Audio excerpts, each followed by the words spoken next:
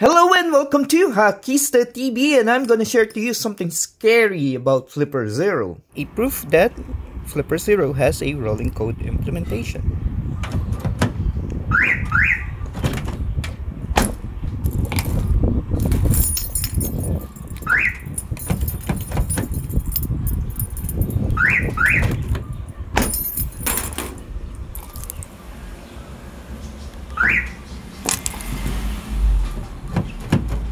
In that video, as you can see, Flipper Zero has a rolling code implementation. I was so curious about this that while playing with my old car alarm system, this is something that I can only do once with HackRF One. But with Flipper Zero, I can do it repeatedly. Apparently, not a lot of people know this, but buried under the Flipper documentation is that they have a rolling code implementation and a whole list of supported vendors.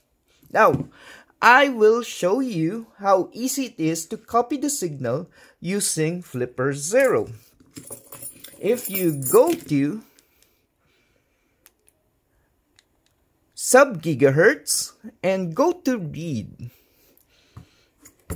And you click the alarm.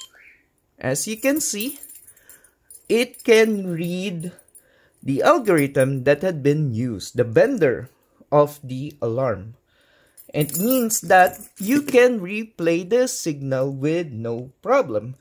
Compare that to let's go compare that to a proprietary alarm that comes default with your modern cars like this.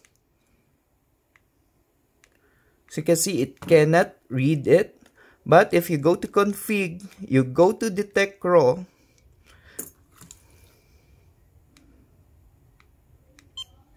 so you can see the raw signal can be captured. That means that this signal that had been captured, you can only use it once. Unfortunately, most of the aftermarket car alarms, especially the ones that are made in China, is included in the supported vendor list of Flipper Zero. That's why if you are thinking of changing the default car alarm systems, always check if the rolling code algorithm is included in the list of vendors using your Flipper Zero. And if you enjoyed this video, please check out my other hacking videos here on Hakista TV. Till next time, my fellow Hakista.